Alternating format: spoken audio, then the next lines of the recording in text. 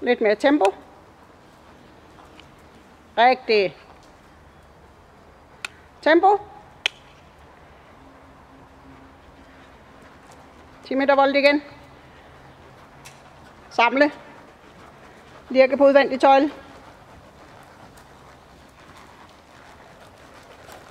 Åh, oh, jeg troede, du lavede en 10 meter volte. Det bad jeg dig om. Igen 10 meter volte her. Lidt mere tempo. Og fald, lirke med udvendig. Efter en på udvendig tøjle. Ej, ikke slås. Bare lirke. Ja, nå ja. Ikke slås. Bare rolig. Bevar roen igen. 10 meter vold igen. Lirke på udvendig tøjle, så ikke hun skyder udvendig skulder ud. Hov. Filmer rigtig dårligt. Rigtig. Bravo. Og igen 10 meter volte, så skifter du til den anden volte på midten. Okay. Lille smule mere tempo. Bare en lille smule. Sådan. 10 meter volde igen. Eller volde tilbage. Lirk på udvendigt tøjle. Ikke store tag, bitte små tag. Så hun ved, du er der. Tempo. Lav volde tilbage, så du kommer på den anden volte. Hele tiden lirk på udvendigt tøjle. Hun er ikke helt ærlig på bidet nu. Yes. Hold den tempo. Lav 10 meter volte. Jeg bare lægge benet blidt tilbage, hvis hun vil stikke røven ud.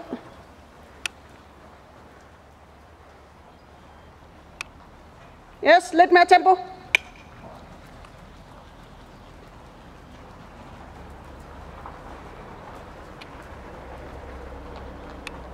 Benet lidt tilbage, klemme. Rigtig. Igen 10 meter volte hernede af. Hold benet lidt tilbage, så du har styr på bagparten. Fint. Benet lidt tilbage. Ja, og lidt mere tempo. En lille smule. Bare lige en lille smule.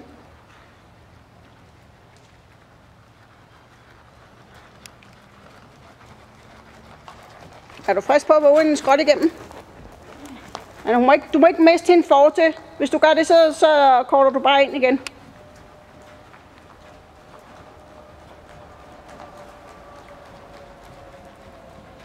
Og korte stille og roligt. Korte stille og roligt ind. Ja, rigtigt. Lav lidt på langsiden. Kun til midten. Lirke på udvendigt tøjle der, når du er på den volte. Det er meget vigtigt, du har mange halve parader på den. Og tempo. Eller lidt mere bagben. Yes. Rigtigt. Prøv du igen at vende skråt igennem. Er hun ikke god nu, Asta? Og ikke så meget, så hun slipper for til, så og halve parader du ind. Kort ind, kort ind. Udvendig tøjle, halve parade, runde. Vær sad ned ad langsiden.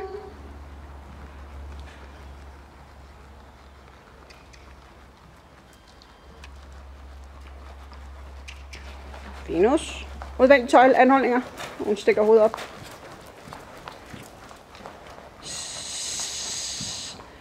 Cirkelvolde til midten. Lige have lidt ro på en forte. Samle en lille smule mere forte. Ligesom på Timmy. Udvendig tøjle og indvendig ben. Rigtig Asta. Ja, rigtigt. Læg indvendig ben en smule tilbage, hvis hun skyder rumpen. Rigtig. Virkelig godt. Virkelig godt. Nydeligt. Super flot. Jeg tror næsten, du kunne galopere der. Men du skal ikke gøre det. Nu holder vi bare noget roligt trav. Ja, rigtigt. Rigtigt. Rose hende.